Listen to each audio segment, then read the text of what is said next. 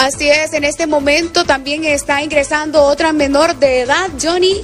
En aquel sector eh, acaba de ingresar otra menor de edad. Bueno, en este momento se ha movilizado la eh, doctora.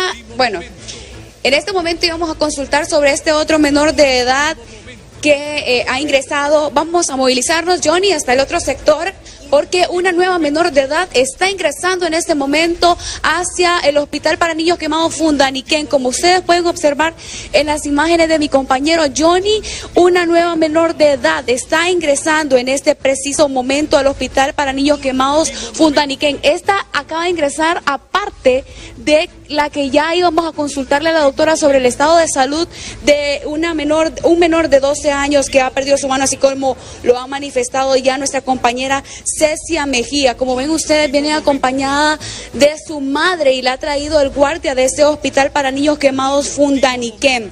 Anteriormente estábamos también registrando eh, la entrada del joven, del niño, Jesús Evelio Bautista Lemus, que venía de San Francisco de Opalaca, Intibucá, de 12 años de edad eh, que fue ingresado hoy por la tarde eh, con una lesión que afecta el 40%, bueno, el 50% de su mano. Pero ahora, en este preciso instante, hemos captado justo el momento cuando esta menor de edad ha sido traída en los brazos por eh, su madre y por el guardia que también la ha atendido en este centro para niños quemados Fundaniquén. Así que a estar pendiente de lo que puedan decirnos los médicos al respecto de esta menor que acaba de ingresar justo en este instante, aparte de este otro menor de edad que también fue trasladado a eso de las 5 de la tarde hasta ese sector. Algo muy importante que nos manifestaban también las autoridades de este centro hospitalario es que eran 14 los menores de edad que estaban ingresados hasta horas de la mañana de este día viernes.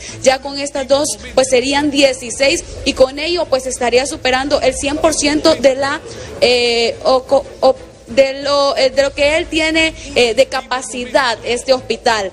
Es lamentable que se sigan dando este tipo de incidentes de los menores de edad y algo muy importante resaltar, compañeros, es que imagínense ustedes, apenas el 80%, por decirlo de alguna manera, eh, son de productos de quemadas de líquidos calientes y el resto es por pólvora o por otro tipo de fuegos. Más adelante estaremos brindando más información de la situación de esta menor de edad.